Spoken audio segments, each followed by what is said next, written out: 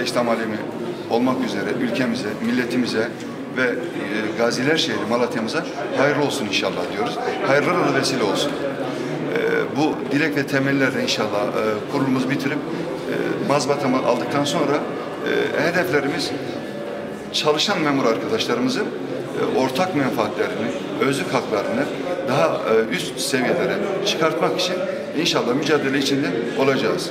E, Güzel bir ekibimiz var.